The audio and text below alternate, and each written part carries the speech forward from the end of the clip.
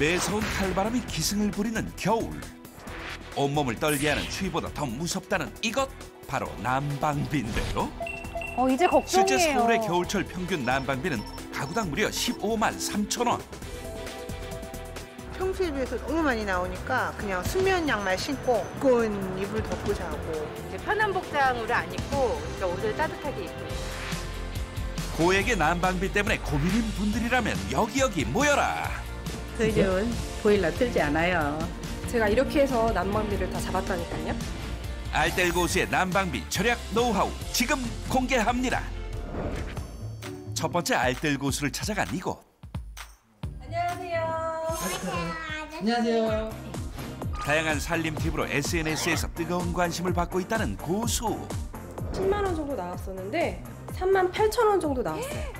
반도 안 돼요. 여느 집과 비슷했던 난방비를 무려 6만 원 이상 줄였다는 고수의 비법 궁금해지는데요. 어떻게 들으신가요?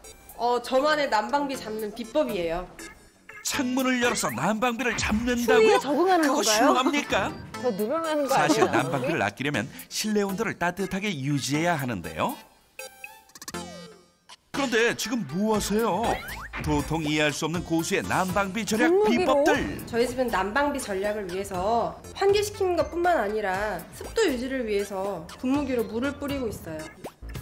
습도가 높을수록 공기의 순환이 원활해져 실내 온도를 더 빨리 높일 수 있다는 사실. 이건 몰랐죠? 저희 집은 지금 23.1도고요. 그리고 적정 습도는 40%인데 저희 집은 유지하고 있어요.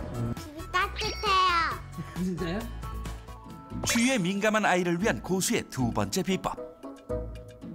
아이가 활동하는 공간은 따뜻해야 되잖아요. 그래서 거실에도 매트를 깔고 있고요. 안방 침대에도 매트를 깔고 있어요.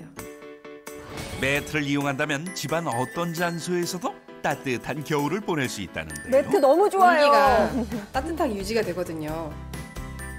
온 가족이 한 이불 속에서 함께 잔다면 그 온기가 더 오래 캠핑 온 유지되겠죠. 것 같아요. 갑시다. 낮잠 잡시다. 나 혼자 잘 거야. 난방비 절약하시고 따뜻하게 보내세요. 따뜻하게 보이는